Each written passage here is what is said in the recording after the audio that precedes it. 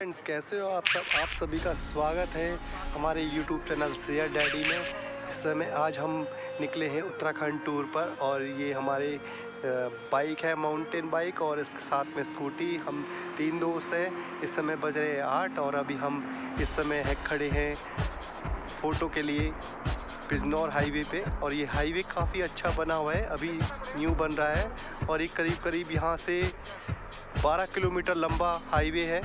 और अभी हम जा रहे हैं कोटद्वार और कोटद्वार यहाँ से करीब 55 किलोमीटर दूर है और हमें कम से कम एक घंटा लगेगा।